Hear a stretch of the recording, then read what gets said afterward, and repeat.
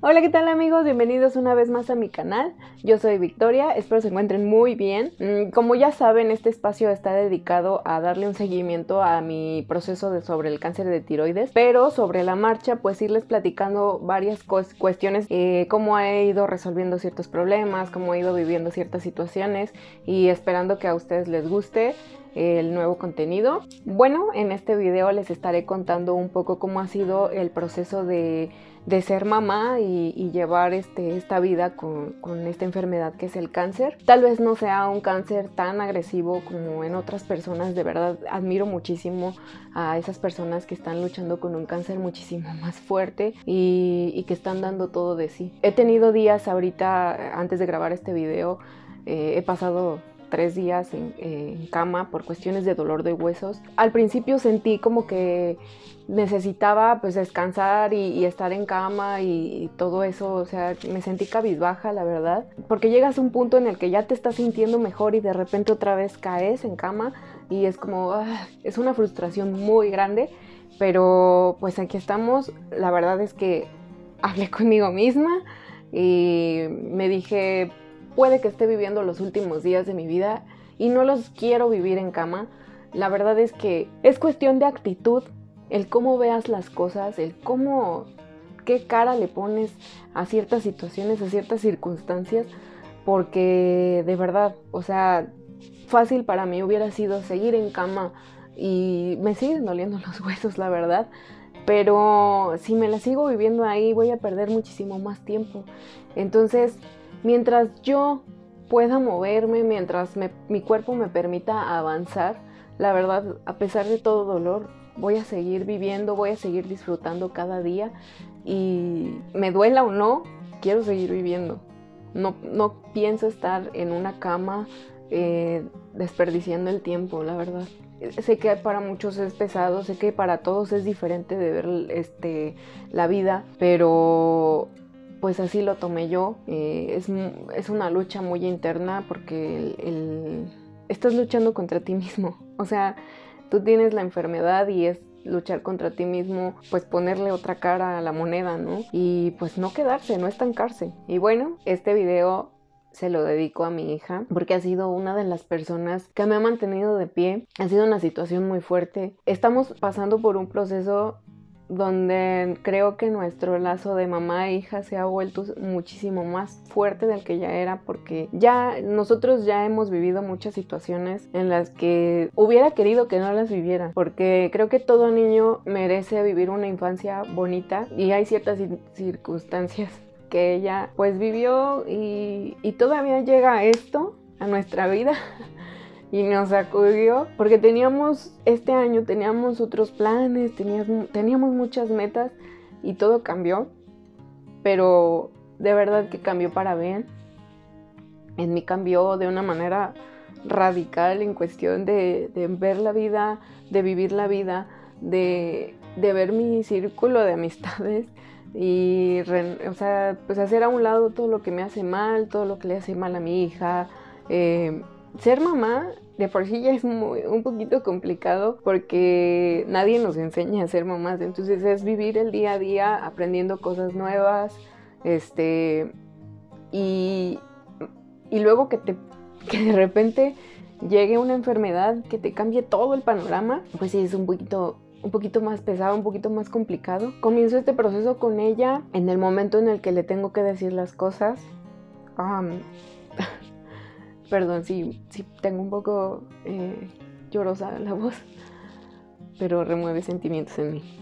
Entonces comienzo yo con, con, con tener que decirle a ella cómo va a estar la situación después de que a mí me dicen que pues si salió maligno y que tengo cáncer y todo eso. Porque pues a final de cuentas ella es la que está a diario conmigo, es la que cuido de ella, o sea, todo iba a cambiar. Llega el día en el que me siento con ella y le dije, pues que sin trabas, ¿no? O sea, le dije que pues me habían detectado una enfermedad, este, pues era el cáncer, que yo le iba a echar todas las ganas, todas las ganas del mundo para que saliéramos adelante. Fue muy, fue muy fuerte porque en ese momento ella, pues se suelta a llorar. Pues es una niña. Y se imagina muchas cosas y me empieza a decir que, que no la dejara, o sea, que le prometiera que siempre íbamos a estar juntas. Y, ah, como mamá, tienes una incertidumbre porque sabes que es una, tal vez no sea una enfermedad tan fuerte, pero hay ciertas circunstancias, ciertos riesgos y, y en el momento que te hacen prometer, no tienes nada seguro, pero tienes que hacer sentir seguro a, tu hijo. Y este, y entonces todo un mundo de cosas se me vino a la cabeza y, y pues fue decirle que sí, o sea, que se lo prometía, que se lo juraba, que no nos íbamos a separar, que esto era como un, un ratito, un mal rato que iba a pasar. Y bueno, pues entonces después de, de, hablar con ella, de hacer esa promesa, pues ya se vinieron los días donde ella me veía mal, había veces que me dolía mucho el cuerpo, me sentía muy muy decaída, me veía en cama, eh, se preocupaba, la verdad lloró mucho en su escuela, pues bajo de calificaciones. Yo siempre había sido una mamá que quería tener como que nada se me saliera de las manos, ¿no? Y siempre quería darle lo mejor, no sé, mostrarle una disciplina, una responsabilidad y mostrarle que pues tiene que valerse por sí misma y así. Y cuando llega este momento, pues sí, se me sale todo de las manos.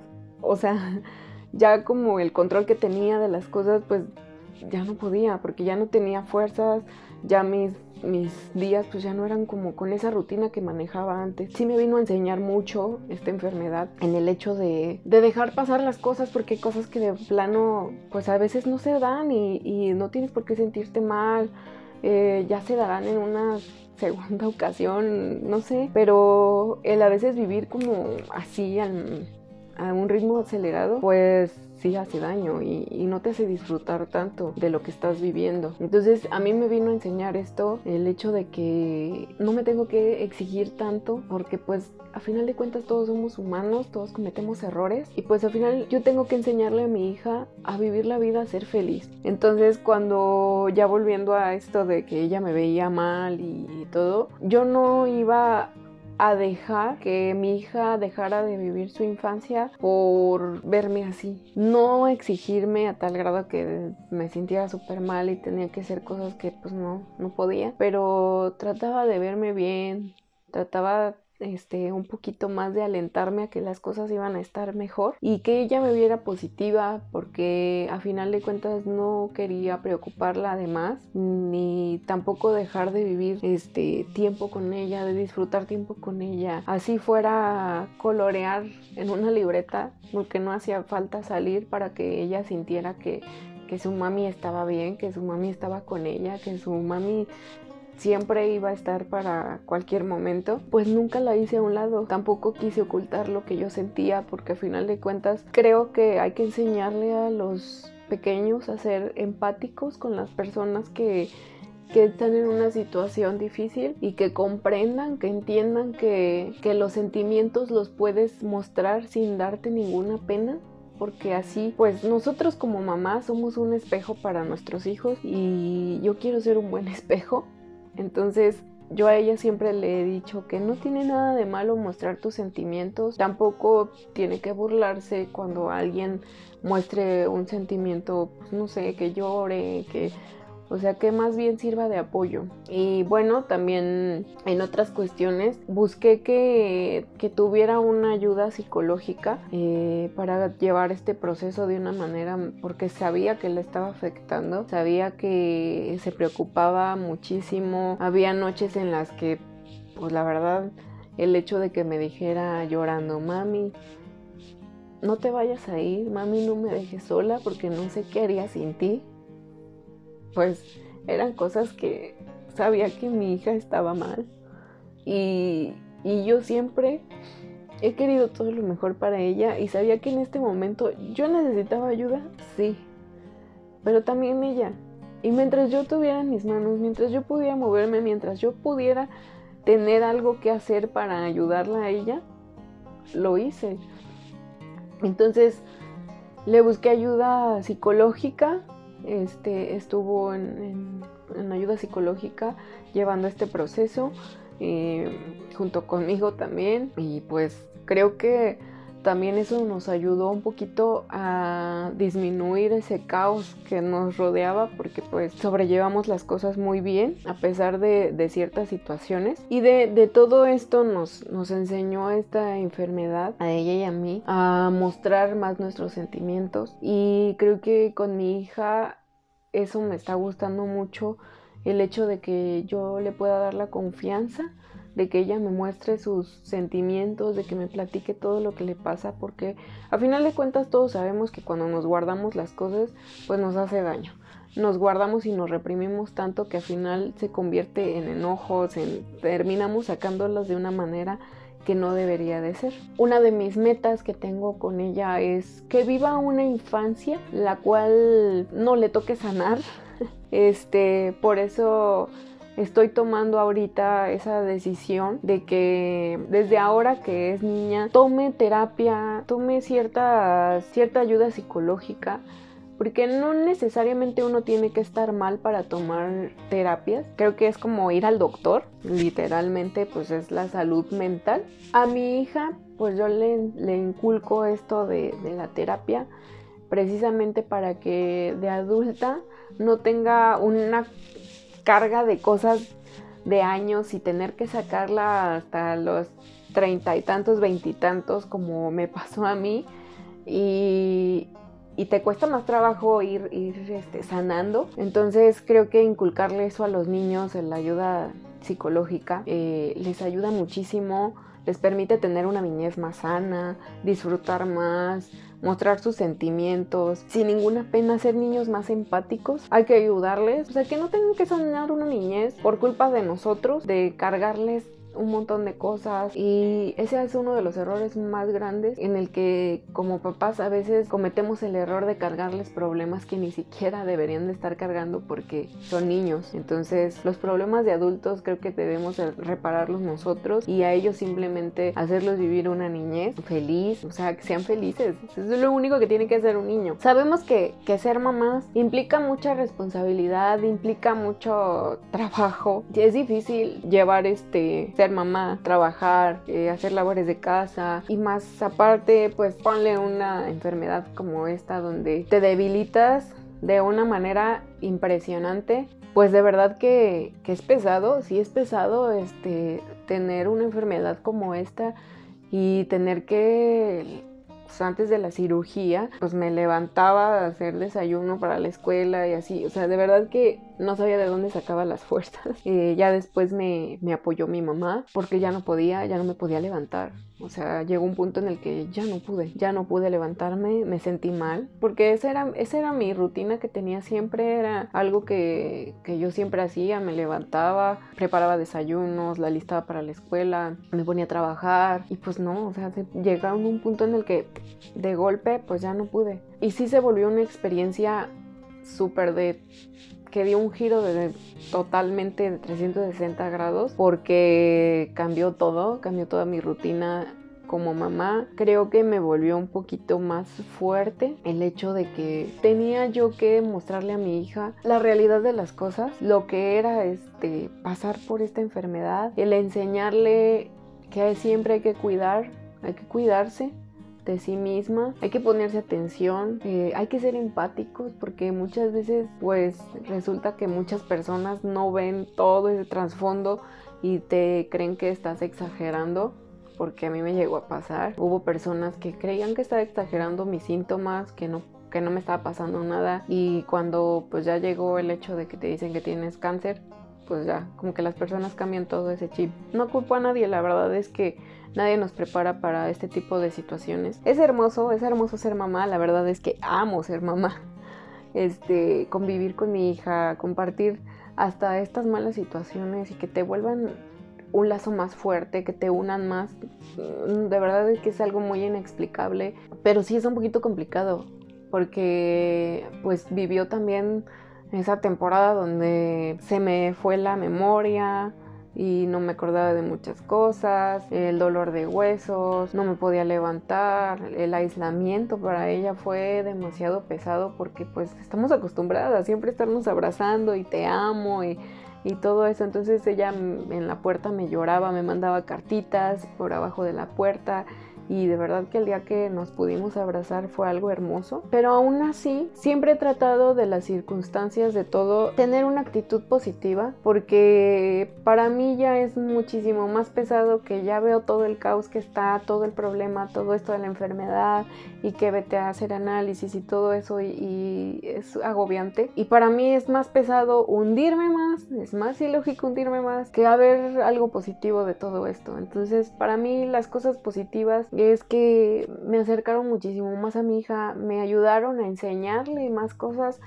a mi hija, eh, expresar sus emociones sin ninguna pena, que no hay nada malo sentirte mal, porque hay días en los que te vas a sentir mal y no pasa nada, o sea, no tiene nada de malo. He sacado muchas cosas buenas de esta enfermedad, la verdad. Sí, muchas personas me han dicho que porque veo como todo como positivo, pero esa es la forma en que yo la veo a veces hasta bromeo, la verdad, sobre mi enfermedad y con muchos de mis amigos y con mi familia. Y, y este, porque la verdad sí es pesado para mí, también es pesado para mis, mis papás, para mi hija. Y la verdad a mí me ayuda muchísimo el estar bien, aunque me sienta mal, pero pues hay que disfrutar esto. O sea, uno nunca sabe cuándo es tu último día y tienes que vivirlo. O sea, ¿quién te dice que mañana vas a estar aquí? Nadie te lo dice. Entonces, yo tomé la decisión de disfrutar cada día de mi vida, de, convivir con cada uno de mis amigos, eh, compartir este, situaciones de experiencia, salir, viajar, comer, em, cuidar de mí también es una de mis prioridades, cuidar tanto física como emocionalmente. Este, de verdad que hay muchas prioridades ya y en mi vida una de ellas, una de esas prioridades es mi paz mental, mi tranquilidad y mi buena salud. Entonces esto me ayuda a enseñarle a mi hija que tiene que afrontar las cosas de una manera distinta, de no agobiarse tanto sobre una situación y, mostrar otra cara, ¿no? O sea, darle vuelta, ya está, ya todo lo malo ya está ahí, y entonces, ¿qué puedes hacer para que todo mejore, no? Entonces, pero en ella está cambiar las cosas. O sea, el cómo piense, el cómo se hable, Em, las amistades que tenga, el rodearse de un buen círculo, o sea, eso influye muchísimo, eso te ayuda muchísimo. Tener buenas personas a tu lado, de verdad en estas situaciones te ayudan demasiado. Y pues eso, o sea, eso me queda a mí, el, enseñarle a mi hija, el ser un buen espejo para ella. Tenemos errores, claro que sí, no somos mamás perfectas, no, no hay mamá perfecta, la verdad es que todas siempre tenemos como un momento de pánico en donde amas ser mamá, pero también necesitas tu tiempo sola, eh, todo eso. Entonces, ahorita sigo trabajando en ese aspecto, en que me vea feliz, en que me vea bien, en darme, tratarme bien a mí. Sé que si yo soy feliz, sé que si yo estoy bien, ella lo va a hacer. Entonces, pues eso es todo lo que me deja esta, esta situación y que también mi hija lo esté viendo de esa forma, pues es precioso. Y bueno, pues hasta aquí el video de hoy hay que disfrutar la vida, las que somos mamás de verdad, no nos agobiemos tanto por ser perfectas, porque no existe tal punto. Disfrutemos de nuestros hijos, porque no sabemos en qué situación nos vamos a encontrar el día de mañana que, que no nos permita hacerlo. Yo les agradezco muchísimo el hecho de que me, me acompañen en una ocasión más en este video. Agradecerle mucho a mi hija que ha estado a mi lado como nadie nunca y gracias a ella pues este proceso lo estoy pasando de una manera que no me esperaba pasarlo. Yo creo que en años pasados me hubiera hundido en depresión y todo eso. Pero sí me ha hecho ver las cosas diferente. Muchas veces podemos pedirle consejos a los niños y de verdad te dan respuestas simples, pero que dices, claro, claro, ahí está la respuesta. Y muchas veces no hacemos caso a eso, o sea, como que decimos, ah, son niños y, ya, ¿no? Pero de verdad que al momento que tú les preguntas algo te dan una solución, o sea, te enfrascas como adulto en muchas cosas cuando la vida es muy simple. Entonces hay que verla así, hay que vivirla, hay que disfrutarla. Y bueno, muchísimas gracias a todos, me despido y nos vemos en la próxima.